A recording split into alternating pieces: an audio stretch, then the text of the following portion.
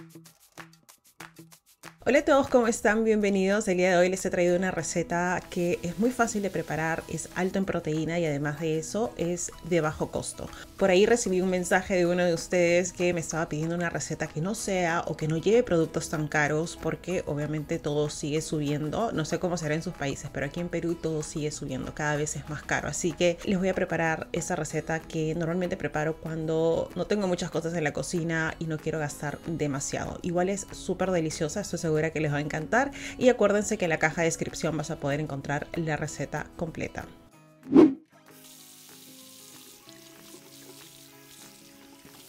Vamos a empezar con papas que las voy a cocinar. Ustedes pueden utilizar el tipo de papa que prefieran. Acá en Perú tenemos miles de papas, literalmente, pero voy a usar papa blanca. Puedes utilizar camote, es lo que normalmente yo utilizaría, pero quería hacerlo distinto porque como bastante camote, así que ustedes utilicen lo que prefieran. Lo que voy a hacer es ponerlo a cocinar en agua fría. Voy a cubrir esto con agua, le voy a agregar un poquito de sal y voy a dejar que esto hierva hasta que la papa se cocine por completo. Le voy a insertar un cuchillo o un palito súper fino por en medio y cuando pasa con facilidad es porque ya está listo.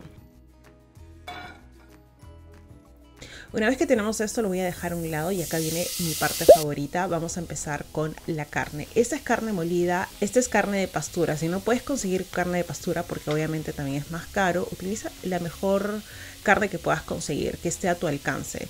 Puedes utilizar una que sea bajo en grasas. Si no quieres utilizar carne molida en sí, puedes tomar un trozo de carne y cortarlo bien pero bien finito, también va a funcionar.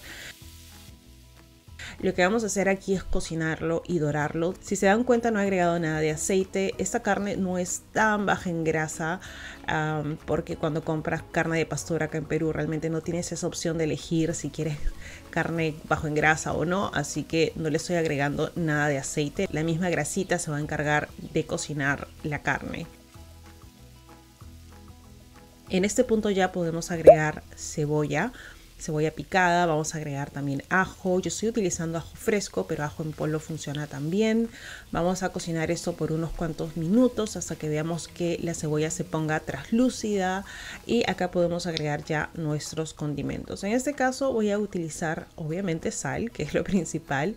Voy a, utilizar esta combinación de condimentos que tiene paprika, chili, tiene también... Eh, pimienta de cayena, le he agregado un poquito de comino. Toda esta mezcla de condimentos se lo voy a dejar en la caja de descripción, en la receta. Una vez que esto se cocina por un par de minutos más, vamos a agregar las verduras. Y acá en realidad ustedes jueguen con las verduras que prefieran o las que tienen en casa. Yo estoy agregando pimiento rojo porque era lo que tenía. Y prefiero a veces el pimiento al tomate porque siento que no se va a romper tanto. Vamos a agregar también este choclito, maíz que tenía también disponible en ese momento y voy a dejar que esto se cocine por unos minutos más. No me gusta que las verduras se cocinen demasiado, así que solamente lo voy a hacer por un par de minutos. Como se dan cuenta, todo ya está listo. Tenemos nuestra carne con verduras. Tenemos acá también nuestras papas. Voy a agregar un poquito de hierbitas frescas para decorar. Y también voy a agregar una salsita que les voy a mostrar más adelante. Que ya les había mostrado en otra receta, pero que es deliciosa. Vamos a tomar nuestra papa, la he partido en dos porque es gigante, es una papa gigante. La voy a partir luego en cuatro. Yo pensaba hacer una papa por persona, pero realmente esa papa es demasiado grande. Voy a utilizar la mitad de una y vamos a acomodar nuestra carne por encima. Vamos a ponerlo por todas partes y eso de acá ya de por sí es delicioso, pero vamos a agregar algo más. Voy a agregar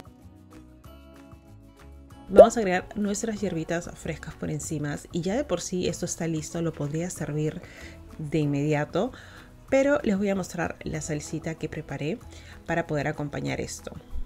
Lo que voy a hacer es poner en un frasco o en una licuadora, voy a agregar yogur, voy a agregar sal, pimienta, jugo de limón, estoy agregando palta, un trozo de palta y vamos a licuar esto muy pero muy bien.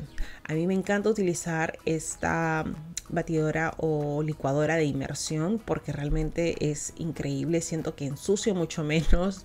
Eh, para lavar la licuadora la tienes que desarmar y todas esas cosas. En cambio con esto te ahorras un montón de tiempo. Otra cosa que agregué aquí para soltar un poco esta combinación, digamos, es agua. Em, puedes agregar también mayonesa, mayonesa light o mayonesa regular Simplemente un poquito si de repente no te gusta el yogur o si quieres hacerlo todo con mayonesa, realmente lo puedes hacer, pero probablemente sería un poquito menos saludable. Pero todo depende de lo que ustedes tengan en casa y lo que prefieran. Una vez que tengo esto licuado, lo puedes guardar y lo puedes utilizar como un aliño para ensaladas, lo puedes utilizar como una salsita, como lo voy a hacer ahorita. Eh, hay infinidad de cosas que realmente puedes hacer con esto. Abajo también en la caja de descripción vas a poder encontrar la receta de esta salsita deliciosa. Luego lo que vamos a hacer es simplemente tomar un poquito y lo vamos a agregar por encima la cantidad que tú quieras. Esto realmente le va a agregar un sabor delicioso. Si no quieres hacer la salsita, simplemente puedes acompañar esto con un trocito de palta o de guacamole si así lo prefieres. Y ya nuestro almuerzo o cena, dependiendo de a qué hora lo comas, ya está listo. Miren lo colorido que queda, realmente fue algo que me tomó muy poquito tiempo. Eh, los ingredientes son muy fáciles de reemplazar. La carne molida normalmente acá en Perú es bastante económica, Así que espero que ustedes también tengan la oportunidad de preparar esto. Si de repente quieres utilizar carne de pavo, carne de pollo molida, también lo puedes hacer. O incluso si quieres utilizar algún tipo de carne vegana, también lo vas a poder utilizar de esa manera y te va a quedar delicioso. Así que con esto les invito a suscribirse al canal, a regalarme un like. De esa manera ayudan a que el canal siga creciendo, me hacen saber que les gustó el contenido. Así que muchísimas gracias por todo el apoyo. Les envío muchos besitos y estoy segura que nos vamos a ver muy prontito en el próximo video.